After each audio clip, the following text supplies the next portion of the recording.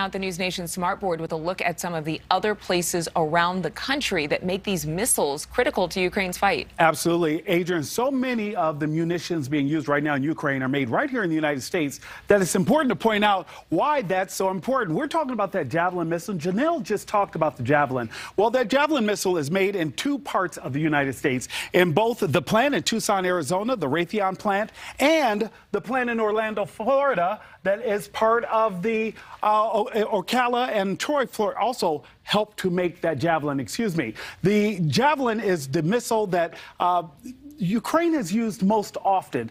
Adrienne, the other part to remember is that that's not the only weapon being used in this fight with Ukraine. We're also using the anti tank missiles, the anti aircraft missiles. They're light, they're portable, and Ukrainian soldiers are able to literally just point and shoot.